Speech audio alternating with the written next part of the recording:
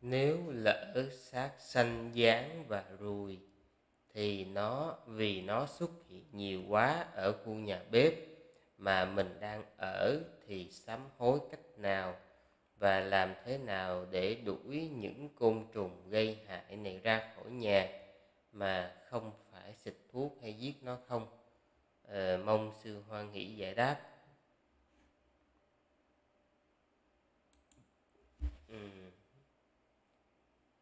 Thưa quý vị thì ờ, bản thân sư cũng không có nhiều cái lời đề nghị cho trường hợp của quý vị.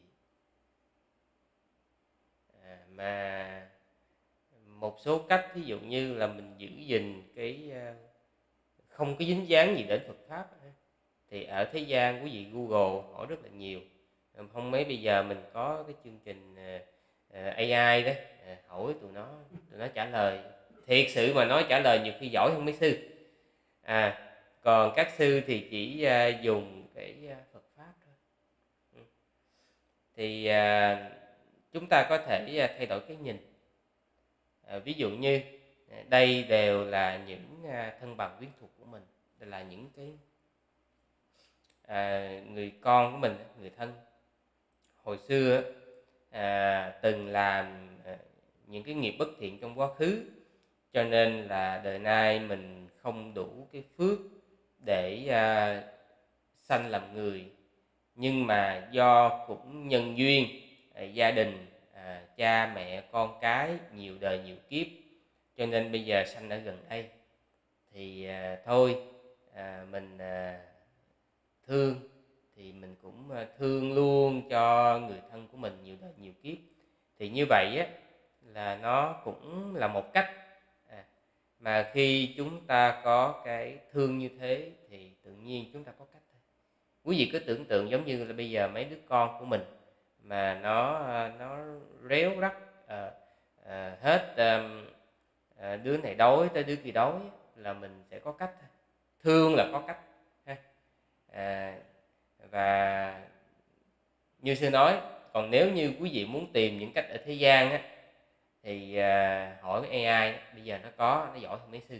À, à, không biết đại đức à, tại tường à, có chia sẻ gì hay không?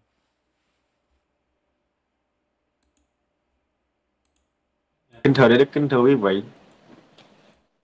Khi mà sư đọc cái câu hỏi này có một cái từ mà làm cho tư sư bản thân sư nha suy tư rất là nhiều. Là cái từ mà nếu lỡ nếu lỡ chắc sanh dán rồi. Cái từ lỡ nè thật sự cái từ lỡ này quý vị chính vì cái từ lỡ này mình cho là lỡ nó xảy ra không biết bao nhiêu chuyện. Không biết bao nhiêu chuyện không biết bao nhiêu cái cái cái, cái vấn đề mà trong tâm giới này. Nó như một cái mối tơ vò quý vị. Bởi vì sao? Bởi vì á, mình cho là lỡ mình cho là lỡ thưa quý vị.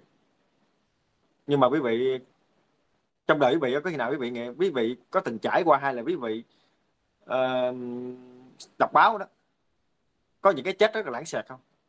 Ví dụ tự nhiên mình đi trên lề đường đi trên lề đường đi trên lề đường nha. Cái xe cái xe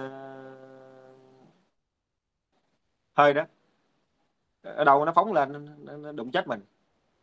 À, rồi thậm chí mình đang ngủ trong nhà cái chuyện này xảy ra thật sự thật sự là có ở ờ, ở chỗ sư luôn. Công đó đang ngủ trong nhà thưa vị ông nó đang ngủ trong nhà luôn nha, mà cái nhà ông nằm sâu, nhà nhà đó thì nhà lụp sụp thôi à. Nhà kiểu ờ, hồi xưa đấy vậy đó, nhà lụp sụp thôi. Thì chiếc xe nó tông vô tông vô tông vô, ông chết luôn. Đó. Thì bị vị nên, giờ đi giải thích đấy là sao? Từ lỡ thôi ủa sao lỡ xui vậy, lỡ xui vậy. Quý vị chính vì cái việc, quý vị nghĩ là do lỡ mình lỡ làm này làm nọ thì mốt những cái mà tai nạn nó đến với mình là lãng gọi, sẽ gọi lãng xẹt ví dụ những cái tai nạn mà lãng xẹt tự nhiên ta đụng mình ta chém mình chém lộn không?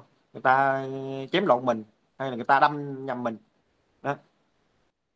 Thì mình phải mình phải hiểu là cái nhân cái nhân nó gây ra nó kiểu như tương tự như vậy quý vị. Cho nên là cái quả nó sẽ đưa nó quả chỗ vậy cho nên cái lỡ mình phải cẩn trọng nha. Ở đây sư không phải là sư um, sư phán xét hay là sư đã kích hay là sư nói nặng nề vấn đề này. Nhưng mà sư ý sư nói là mình phải cẩn thận cẩn thận đối với những cái suy nghĩ của mình khi mà mình đời mình sống, đời sống của mình đó mà mình thiếu đi cái chánh niệm, cái niệm tỉnh giác, nó biết mà mình sống với tâm bất thiện nhiều, thưa vị, thì mình không biết cái nào là thiện nào bất thiện.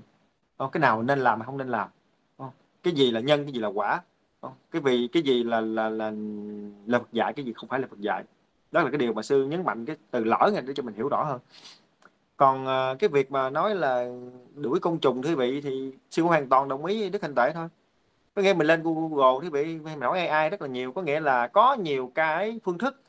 Mà theo sư biết nha theo sư biết là mình có thể đuổi ờ, những cái côn trùng thậm chí ờ, đuổi côn trùng nè rồi chuột dán đâu thưa vị là bằng cái phương pháp sinh học thưa vị.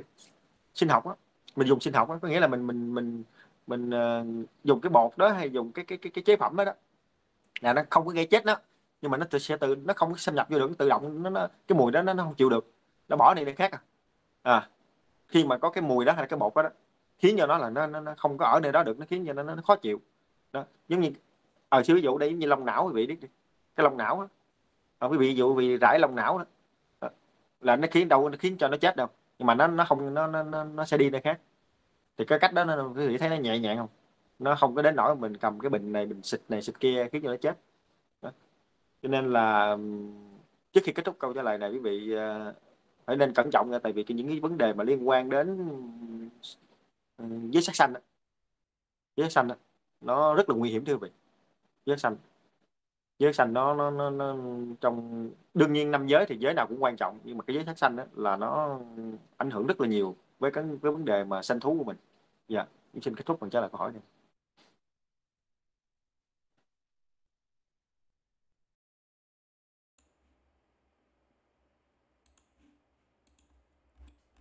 ta qua câu hỏi tiếp theo.